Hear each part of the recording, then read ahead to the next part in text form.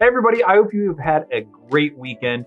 Thank you to all of you who submitted photos to our contest for National Hot Dog Day happening last Wednesday. If you missed it, there's still some time to send pictures of you and your team and your clients eating hot dogs and your favorite hot dog topping. Send those pictures to the email address that's on the screen and the winner of the hot dog contest will receive a prize. Coming up on August 18th, we have our annual golf event. All the money that's raised goes to our development fund, and we've already had over 24 teams sign up.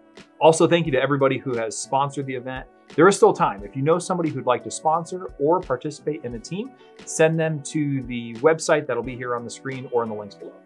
We're looking forward to a great day of golf and support of our clients. Last week here at the main office, we did a mock fire drill.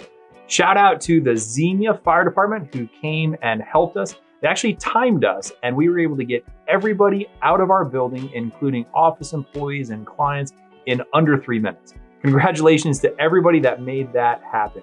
We are committed to keeping our employees and our clients safe. It's important that you know what to do in case there's an emergency.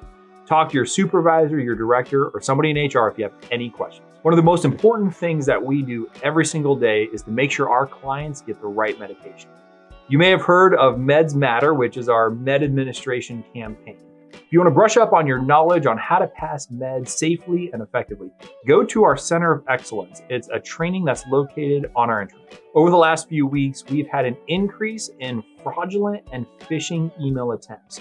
It's really important that you check and don't click on any links that you aren't familiar with that come through an email and be very careful in sending out any confidential information. If you have any questions about an email that you receive, reach out to NetX. You can find their information in the links below. We're really excited to be partnering with Station MD. Station MD is going live on August 1st.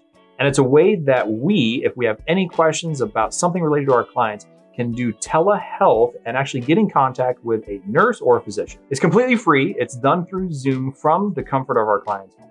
You'll be finding out more information here in the next couple weeks from your director and be watching in your email for more information. This week's quote comes from Cody and Steve. I'm not famous, but I'm the coolest. Make it a great week.